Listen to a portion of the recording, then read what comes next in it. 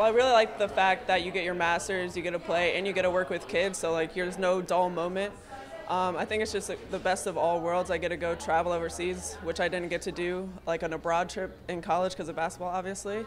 So I mean, this is just a great opportunity to get everything I want and more. I mean, one of my favorite parts about the program is that you get to work with these kids and I've been like tossing around the idea of maybe becoming a coach or working in the basketball world. So I mean, I think this will be a good opportunity for me to see if I like it or not, and I don't know, just to be able to work with other kids. At Siena, you know, we have the camps every summer that we love to do, and the kids are always great. They're always enthusiastic. So just another chance to keep doing that and continue my basketball career at the same time. Ryan Oliver did it last year. Um, talked to him a couple times. He really loved it. He loved all aspects of it.